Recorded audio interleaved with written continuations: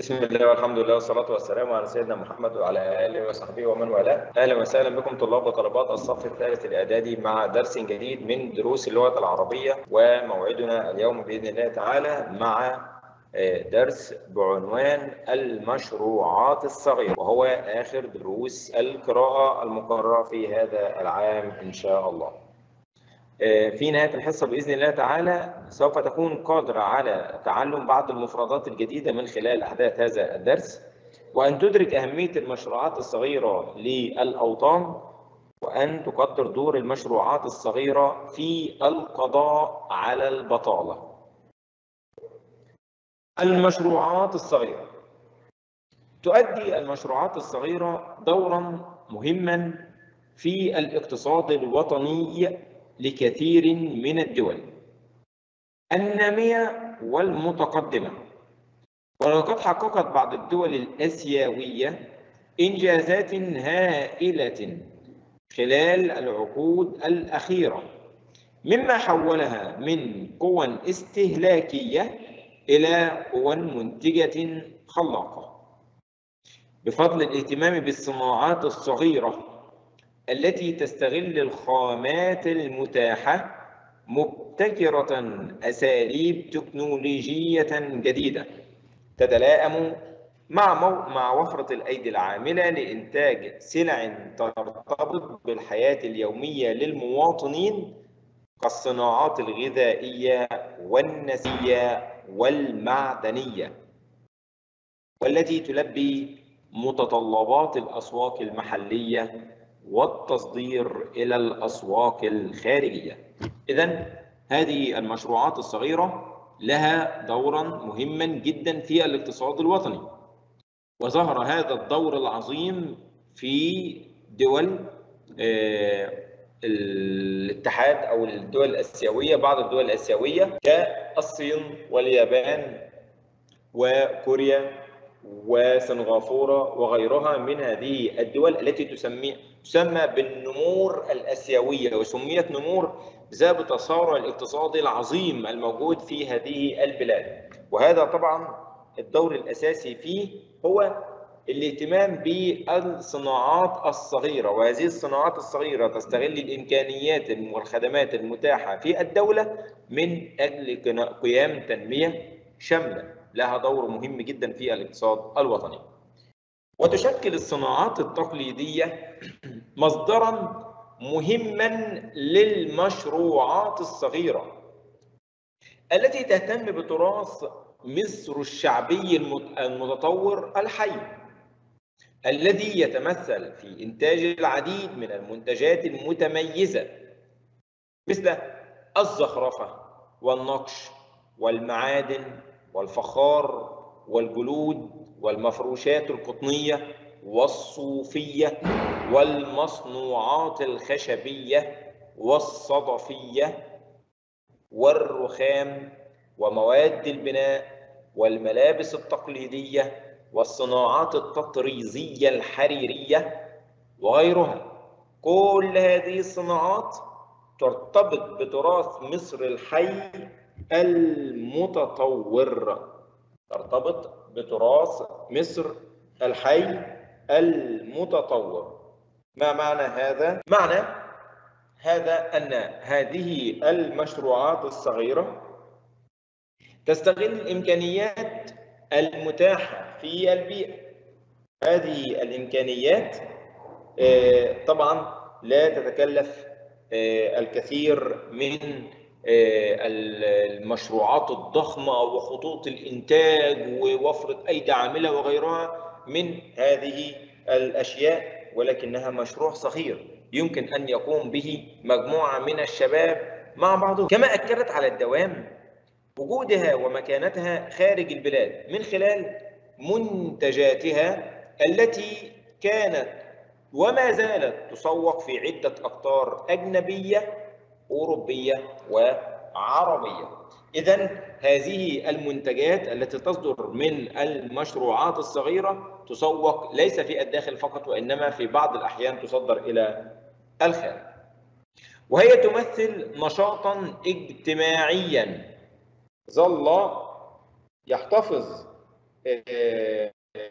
بتراث يحتفظ مكانة خاصة سواء بالنسبة للحرفيين لأنه يقوم لهم بدور مهم جدا. أو المواطنين المستفيدين من منافعها. طبعا دوت بالحياة اليومية للمواطنين. أو بالنسبة للدولة التي حظر لديها هذا النشاط بتقدير خاص ومتميز. لما يؤديه من وظائف اقتصادية واجتماعيه وثقافية وامتزاجه بمختلف مظاهر الحياة والعمران. وتوفر فرص عمل للشباب ورفع مستوى المعيشة وزيادة دخل الأفراد وتحسين المستوى الاقتصادي وكيفية التنمية الاجتماعية. كل هذا يدفع الدولة إلى الاهتمام بالمشروعات الصغيرة. لأني قابلني بالأمس سؤال يقول ما الدافع وراء الاهتمام بالمشروعات الصغيرة. طبعا الدافع عظيم جدا وراء الاهتمام بالمشروعات الصغيرة. هذا الدافع هو ما ذكرناه لها وظائف اجتماعية واقتصادية وثقافية ويختلف وامتزاجه مظاهر الحياة والعمران. يوفر فرص العمل يرفع مستوى المعيشة زيادة دخل الأفراد تحسين المستوى الاقتصادي كيفية التنمية الاجتماعية. كل هذا يدفع الدولة إلى الاهتمام بالمشروعات الصغيرة. ويتميز المشروع الصغير بعدة خصائص. تتلخص في صغر الحجم وأنه لا يحتاج إلى مساحة كبيرة لأداء نشاطه. ده سؤال مهم جدا خصائص المشروعات الصغيرة. أو يكاد يكون أهم سؤال في الدرس. عيد تاني تتلخص في صغر الحجم وأنه لا يحتاج إلى مساحة كبيرة لأداء نشاطه. لا يحتاج إلى تمويل كبير عشان تعمل مشروع صغير أنت مش محتاج رأس مال كبير أو تمويل كبير. هو بس أنا عايز أدي مثلا مثال. إيه هو رأس إيه هو المشروع الصغير عشان نبقى فاهمين؟ أنا هعمل مثلا محل بقالة تمام؟ أو هجيب منتج من أي بلد وهبيعه عندي في البلد أو في المنطقة اللي أنا موجود فيها. محل ملابس محل مفروشات. أو أنا هصنع. ملابس أو مفروشات أو هكذا. في قرية ذكرت في الصف الرابع الابتدائي اسمها قرية جراح. هذه القرية أنا الحمد لله إن أنا منها. هذه القرية بها تعتمد على زخرفة وتصنيع الزجاج. بيجيبوا الكوبايات ويزخرفوها ويرسموا عليها ويحطوها في علب شكلها جميل كده ويخرجوا يسوقوها في جميع أنحاء مصر. أو في بعض البلاد الخارجية. طبعا مشروع مش مكلف مشروع بسيط جدا جعل مركز أجا بمحافظة الدقهليه خالي تماما من البطالة بسبب وجود قرية مثل قرية جراح في هذا المركز. أدت إلى احتياج أعداد كبيرة جدا من الأيدي العاملة الأمر الذي لا تكفي الدولة القيام به وحدها أو القرية القيام به وحدها وإنما يأتي إليها العمال من جميع أنحاء البلاد التي تجاورهم. هذا لو طبقنا هذا على ما أراه أمام عيني من أهل بلدتي فهذا المشروع لا يحتاج إلى مساحة كبيرة لأداء نشاط لا يحتاج إلى تمويل كبير كما أن عدد العاملين في هذا في هذه المشروعات قليل جدا. حجم رأس مال المشروع صغير نسبيا. حجم رأس المال صغير الحجم نسبيا. نشاط المشروع ونطاقه الجغرافي محدود. يعتمد على تكنولوجيا بسيطة عند بدايته. ويساعد على إيجاد التوازن الصناعي بين الحضر والريف. إذا ذهبت إلى قرية من القرى التي تهتم بالمشروعات الصغيرة يبقى المشروع الصغير يساعد على إيجاد التوازن الصناعي بين الحضر والريف. تسهم المشروعات الصغيرة في توفير فرص العمل للشباب وهذا أهم ما يميز المشروع الصغير أو القيمة العظمى للمشروع الصغير وهو انها بتساعد على فرص عمل للشباب وبالتالي تسهم في حل مشكلة البطالة وهي أكبر ما تعانيه مصر من من من مشكلات. ثم يمكن تصنيف المشروعات الصغيرة إلى مشروعات إنتاجية يعني حد بيجيب منتج أو بينتج حاجة وبيبيعها أو بيتعامل فيها. مشروعات خدمية زي عيادة الطبيب. خدمي. محل الحلاقة. خدمي. لما يكون أنا ما عنديش منتج ببيعه والناس بتيجي بعمل لهم خدمة وبستفيد منهم ماديا. مشروع. يبقى ده مشروع خدمي. مشروعات تجارية. لما أكون بجيب منتجات بسعر معين وببيعها بسعر أعلى وباخد المكسب. ومن المهم دور الدولة بقى. من المهم إعداد وتنمية مهارات رجال الأعمال الصغيرة بما يجعله قادرا على إدارة مشروع صغير بكفاءة وفاعلية في ظل التغيرات الاقتصادية العالمية.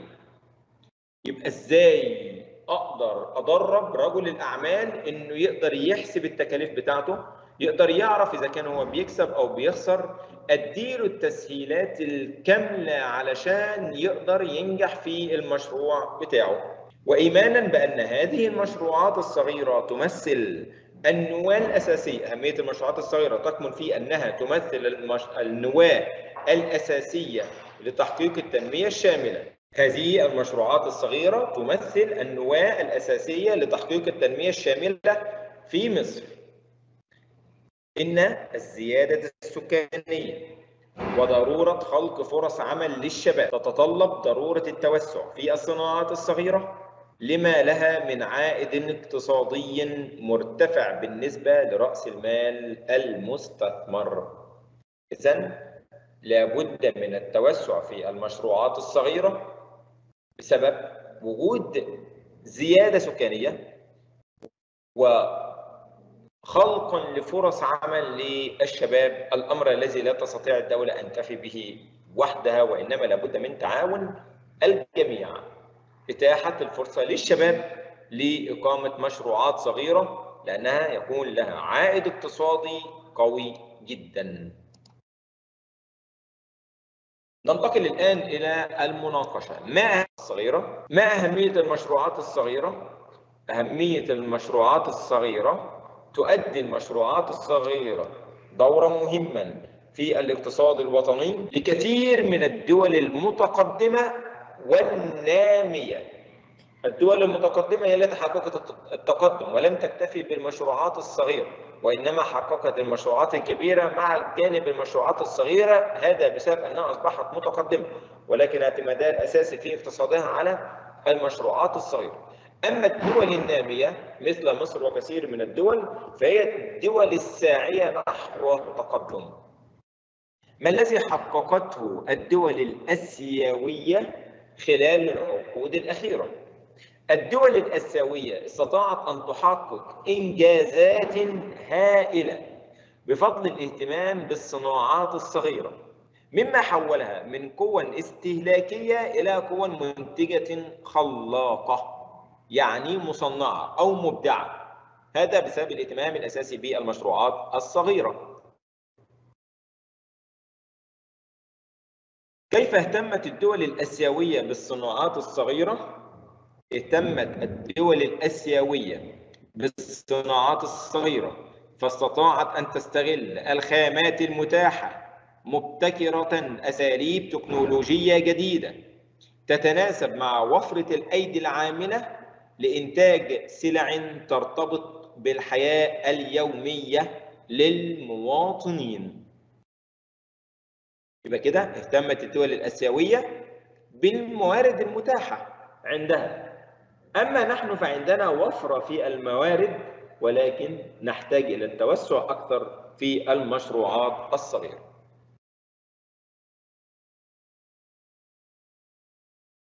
لماذا يجب الاهتمام بإنتاج السلع المرتبطة بالحياة اليومية للمواطنين؟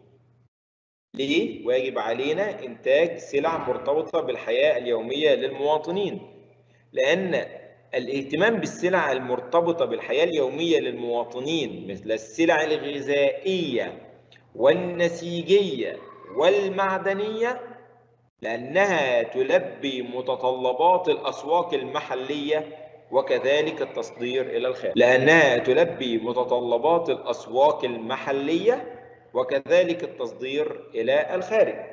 إذا أنا لما أكون هعمل مشروع ما ينفعش إن أنا أجي أعمل مشروع يكون مش متناسب مع البيئة اللي أنا موجود فيها.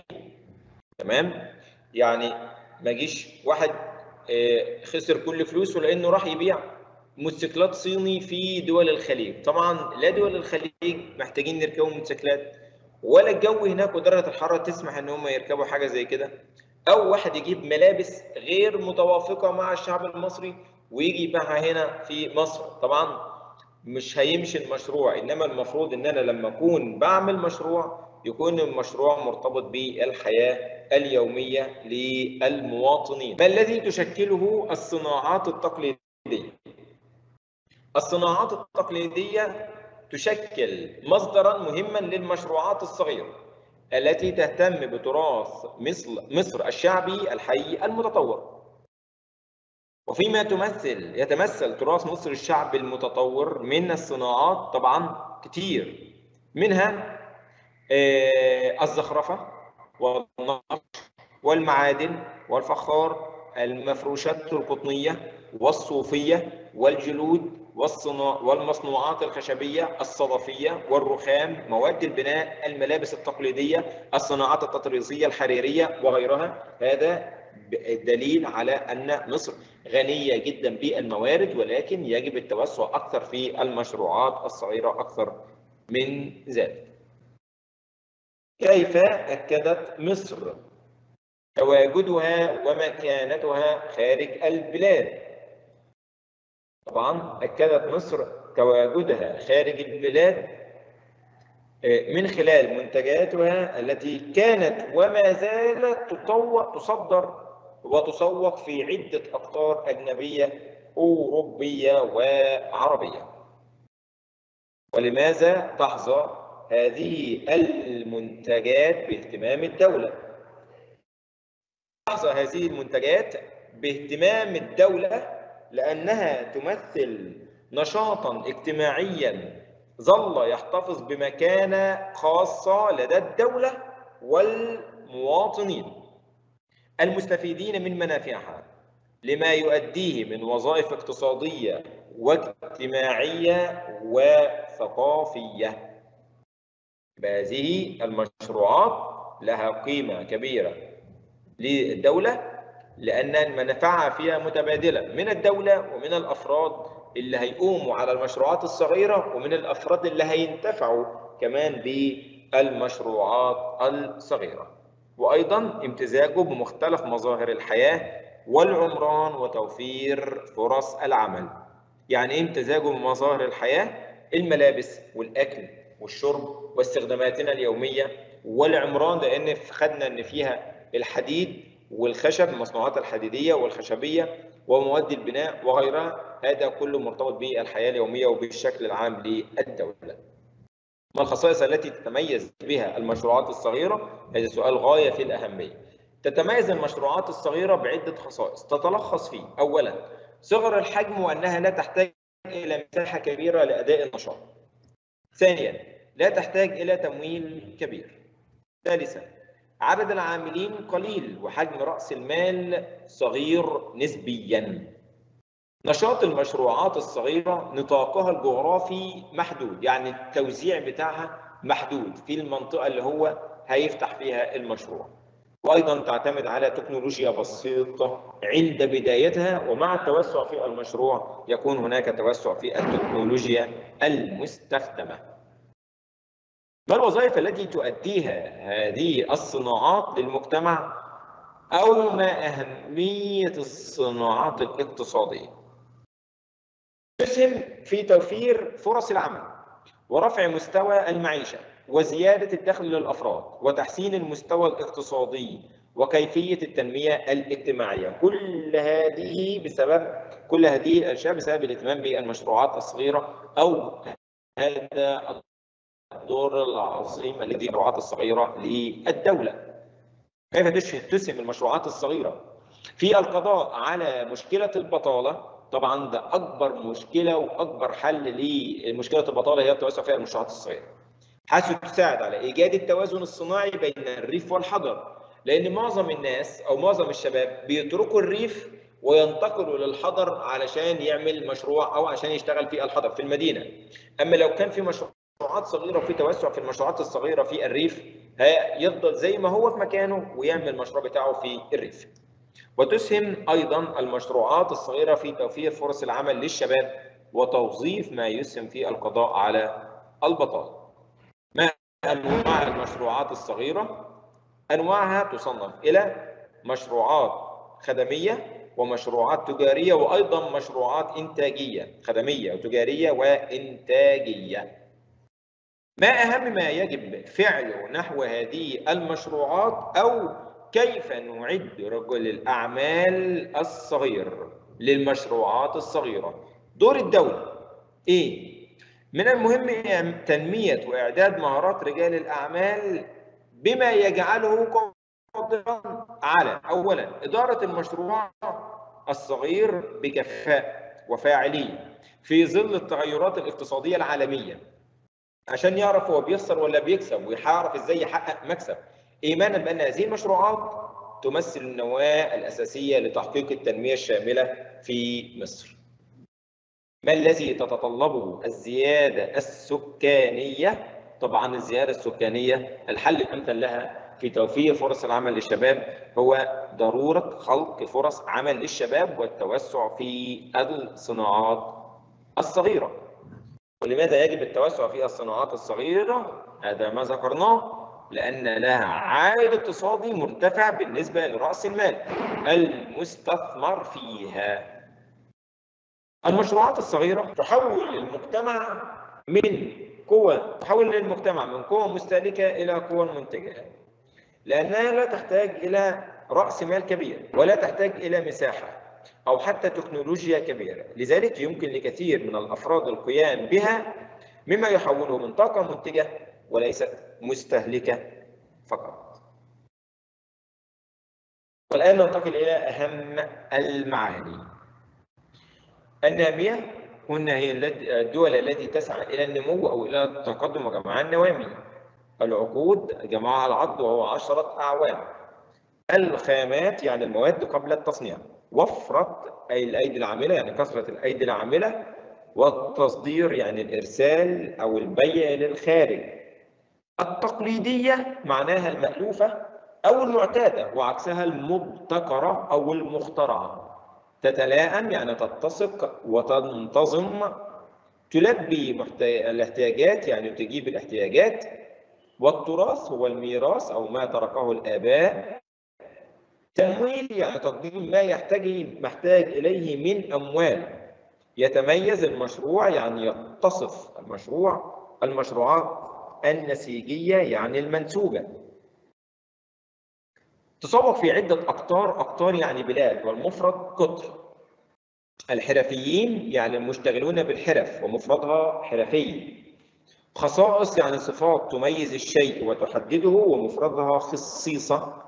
هائلة يعني كبيرة وضخمة وخلاقة يعني مبدعة والمتاحة يعني المهيئة. النطاق يعني الأفق تحتاج إلى نطاق جغرافي. الأفق والجمع نطق والحضر هو المدن. توظيف يعني تعيين في وظيفة وتصنيف يعني تقسيم إلى أصناف. إدارة المشروع يعني تنفيذه ورعايته. وحظى يعني نال ظفر والآن أكمل ما يلي. تؤدي المشروعات الصغيرة دورا مهما في قلنا في الاقتصاد الوطني للدول. السؤال الثاني. لقد حققت بعض الدول نقط إنجازات هائلة خلال العقود الأخيرة. أنهي الدول؟ الدول الأسيوية. حولت المشروعات الصغيرة هذه الدول من قوى استهلاكية إلى قوى منتجة خلاقة. والآن ننتقل إلى الواجب المنزلي. أجب على هذا السؤال. معنى النامية هي التي تسعى إلى النمو والجمع النوامي. العقود جمع عقد وعشرة أعوام. الخامات هي المواد القابلة للتصدير. الخامات هي المواد قبل التصنيع وفرة يعني كثرة التصدير يعني الإرسال أو البيع إلى الخارج التقليدية معناها المألوفة أو المعتادة ومضادها المبتكرة تتلائم يعني تتسق وتنتظم. تلبي تجيب. تراث هو الميراث أو ما تركه الأجداد تمويل يعني تقديم ما يحتاج إليه من مال ويتميز يعني يتصف النسيجية يعني المنسوجة. أكمل ما يلي. تؤدي المشروعات الصغيرة دورا مهما في الاقتصاد الوطني.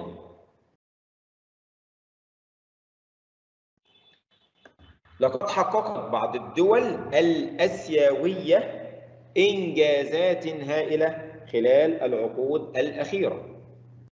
حولت المشروعات الصغيرة الدول الآسيوية من قوى استهلاكية إلى قوى منتجة خلاقة. والآن ننتقل إلى الواجب المنزلي.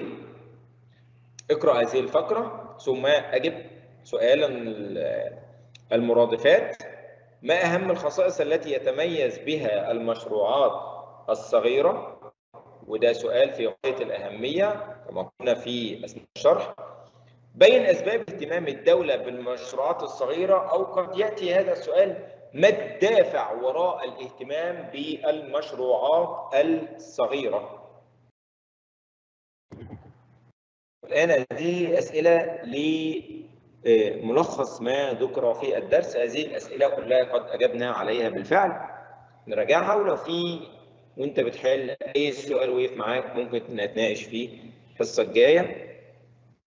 أستاذنكم خدوا دي صورة عندكم وجاوب على الأسئلة دي. وإلى هنا نكون قد وصلنا إلى نهاية حصة اليوم. كان معكم أستاذ محمد معروف معلم اللغة العربية. دمتم في حفظ الله ورعايته والسلام عليكم ورحمة الله وبركاته.